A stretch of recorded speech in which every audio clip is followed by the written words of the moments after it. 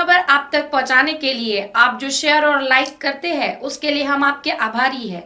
देखते रहिए B S crime India news S crime India news की ओर से मैंने मिश्रा शमशेर खान की खास खबर पर एक नज़र। ज़िले में विकास कार्यों का भूमि पूजन, पंद्रह करोड़ के कार्य का शुभारंभ। भंडारा ज़िले में मुख्यमंत्री ग्राम सड़क योजना में 300 किलोमीटर मार्ग मंजूर किए गए। इसके साथ ही पचहत्तर करोड़ रुपए कीमत के मुख्य मार्ग मंजूर किए गए।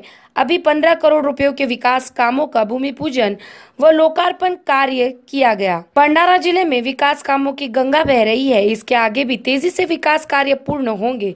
लाखनी लाकानदूर तहसील में विविध विकास कामों का भूमि पूजन व राज्य स्तरीय पशु वैद्यकीय अस्पताल, कर्मचारी निवास, इमारत का लोकार्पण पालक मंत्री के हाथों किया गया। इस समय बावन कुले ने मार्गदर्शन किया। इस समय विधायक बाला काशीवाल जिल्हा पुलिस अधीक्षक विनीता साहू अपर पोलीस अधीक्षक रश्मि नांदेड़कर उपविभागीय अधिकारी अर्चना मोरे तहसीलदार मलिक विराणी राजेश बांते ज्योती निकाड़े समेत पदाधिकारी उपस्थित थे।